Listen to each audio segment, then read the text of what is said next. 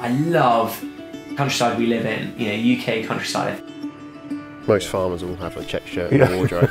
Because we're renowned for our check shirts.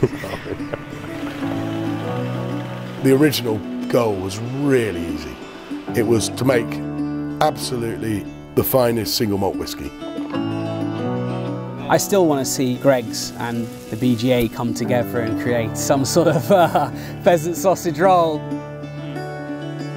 Learning to be a little bit more grown up has been probably one of the biggest things. It's a, it's a different world completely. You know, it's all just uh, for the benefit of the horse and, you know, the old saying, no foot, no horse, is, is true.